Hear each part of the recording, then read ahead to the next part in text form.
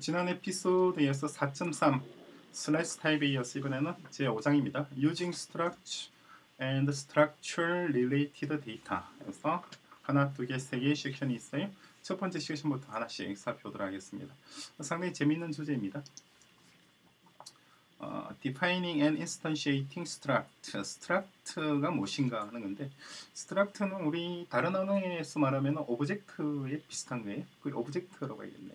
key와 value로 구성되어 있는 구조물이고 그 자체가 하나의 scope입니다.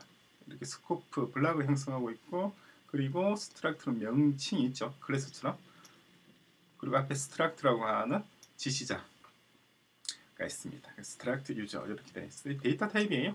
어, 그러니까 뭐 class랑 비슷하다고 말할 수도 있고 인터페이스랑 비슷하다고 말할 수도 있어요. 그래서 음, 뭐 어떤 instance를 만드는 방식은 이렇게 합니다. user해서 실제 데이터를 key에 value, key value 해서 user한 하나 만들어낼 수가 있고 그리고 음, 이건 뭐예요? immutable한 경우도 있죠. 뭐 Rust에서 모든 것은 기본적으로 immutable이에요. 근데 mutable 방식으로 하게 되면 여기 있는 내용들을 알맹이들을 바꿔줄 수가 있습니다. 그죠? 그래서 유즈원의 이메일 이 부분이죠. 이 부분을 이걸로 바꿔줄 수가 있는 게 mutable 방식이고 그리고 function에서 마찬가지로 이렇게 어, return되는 값을 struct 명칭을 지정할 수가 있, 있죠.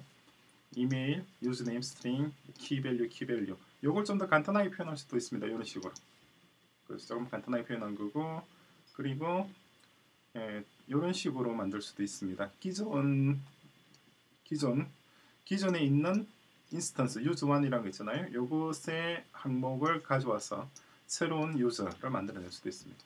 코드를 볼까요? 코드를 보면은 에, 여기에 있죠. 전체 선택하면 이런 식으로 가능합니다. user1이 있고 그다음에 user2는 보다시피 user1에 있는 것을 가져와서 쓰는 거예요. 물론 user라고 하는 struct가 정의되어야 됩니다. 그렇죠? 그 얘기입니다. 예, 그리고 그리고 위에 예, user2 이런 식으로 나머지 항목은 점 똥똥 찍는 방식으로도 가능하고 그리고 어, 이렇게 tuple 형식의 struct도 가능합니다. 명칭이 있고 struct 명칭이 있고 데이터는 tuple 형식이죠. 그런데 주의해야 될 점은 이 명칭이 서로 다르잖아요. 명칭이 다르면 서로 호환성이 없습니다. 그러니까 백 black 속에 color가 들어있고 origin 속에 포인터 들어있잖아요. 이 black 속에 포인트 예를 할당할 수는 없다는 거예요. 이해되시나요? 네, 그런 서로 호환성이 없다는 거고 다음에 unit-like 이 부분은 이따가 우리가 trait를 다룬 다음에 다루겠습니다. 그리고 보시면은 이렇게 하질 않아요. 여기에 string slice를 쓰지 않고 지금 보시면은 요거 뭐예요? 여기 넘버는 string으로 돼 있잖아요. 이렇게 돼 있고 요게 맞고 이렇게 하면 안 된다는 거예요. 그 이유가 뭐냐니까 lifetime과 관련이 있습니다. lifetime이 무엇인가를 우리가 살펴야 되겠죠. 그래서 struct 부분 한 두 개를 더 보고 난 다음에 lifetime 그게 어디 있느냐 하면은 아 이게 보시면은 아, error handling 10장이네요. 10장에 generic types trait lifetime 이세 가지가 있습니다.